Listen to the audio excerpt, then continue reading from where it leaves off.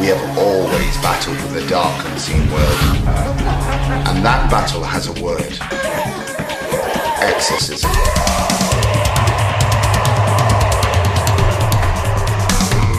These dark, demonic powers can take hold in the young and the old, male and female. Human experience across thousands of years reveals their existence.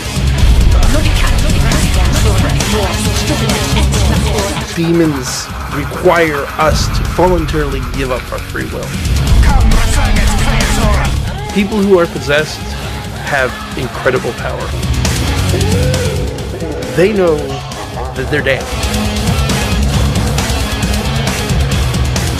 They tried to fight God and they tried to fight the Almighty. They've lost. They really, they're not stupid. They realize they can't win. So if they can't win, they're gonna drag everyone else down with them.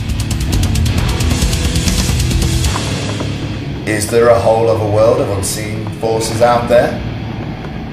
And what if it is true and there are evil forces waiting for you to commit that deadly sin and enter your soul? Who will you call? The doctor? Or an exorcist? An exorcist? An exorcist?